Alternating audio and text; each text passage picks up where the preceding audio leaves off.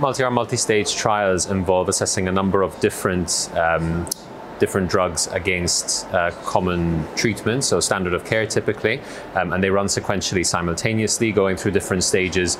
With the first stage typically being to assess, you know, their feasibility overall, somewhat akin to a phase two trial, and then if they pass that initial assessment, they go on to a formal, longer assessment stage, which is the equivalent of a phase three trial.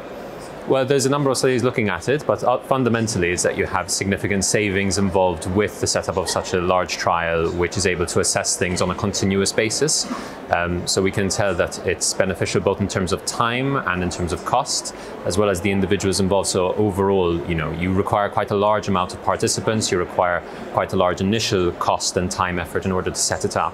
But in the long term, when you compare it to the equivalent number of trials that you'd need to assess a similar number of drugs, then actually you're saving on all of those fronts. So Octopus is set up specifically for progressive forms of multiple sclerosis. Um, so, you know, as I'm sure most of the audience is aware, there's a very limited amount of treatments available for them, and because of that, the trying to set up a number of separate trials to assess different treatment methodologies, it's, it's just very inefficient.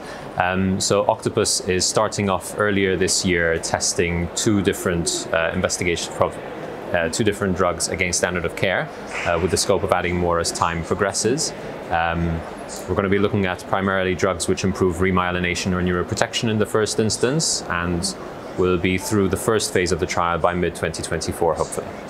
So at the moment it's metformin. From a remyelination perspective, there's very convincing and supportive animal data which suggests that it improves oligodendrocyte function and remyelination. Um, and the other is alpha lipoic acid, which has been investigated in a number of different countries for a variety of conditions. But again, there's very encouraging animal studies and more recently even human trials showing that it can really improve brain atrophy rates, which is the interim outcome measure that we're using for Octopus.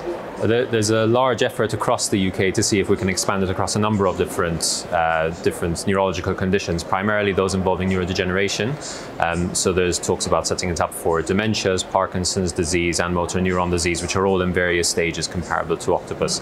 We, we relied on the STAMPEDE trial and are working very closely with the MRC and Professor Max Parmar, who had set that all up initially. Um, and we, we form part of a whole group that are setting these trials up and moving them forward. So fundamentally, they could reach out to UCL, to the MRC, um, to see whether or not they could come on board. We have had a number of additional sites which have expressed an interest in joining us. In this instance right now, we've got 15 sites which are going to be coming online and taking part in the first phase of the trial, but multi-arm, multi-stage trials require a lot of participants, so anyone that would want to get involved could just reach out and I'm sure we can discuss it further.